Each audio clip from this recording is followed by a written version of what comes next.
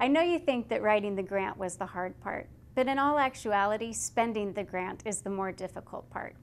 Now you have the money and you have to decide how to best fit your district's needs.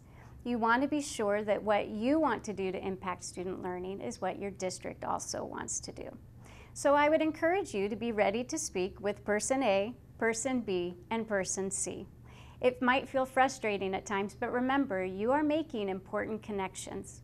Each person has positive intentions, and you're always learning something from each person you make that connection with.